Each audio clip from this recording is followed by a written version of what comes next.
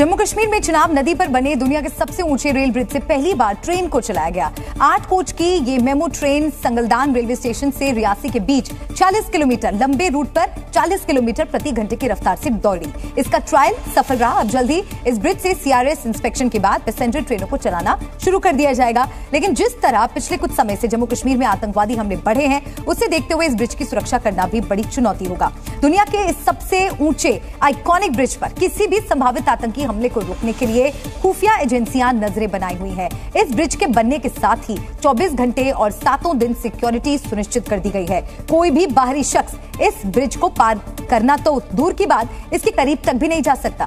Chenab bridge की सुरक्षा में आरपीएफ, जीआरपी, सीआरपीएफ के अलावा जम्मू कश्मीर पुलिस के जवानों की तैनाती की गई है। इसके अलावा स्थानीय लोगों की भी मदद ली जा रही है, ताकि ब्रिज के आसपास अगर कोई संदिग्ध शख्स दिख रहा हो या फिर आता जाता है तो इसकी सूचना समय रहते ही स्थानीय पुलिस को या फिर सुरक्षा बलों तक पहुँच सके। आपको बता दें कि पिछले साल ही पूरे जम्मू कश्मीर में रेल लाइन, ट्रेनें और रेल यात्रियों की सुरक्षा को सुनिश्चित करने के लिए रिव्यू किया गया था। यही नहीं जम्मू कश्मीर में बने रेल रूट टनल और पुलों की सुरक्षा के लिए अलग से कुछ पोस्ट भी क्रिएट किए गए हैं.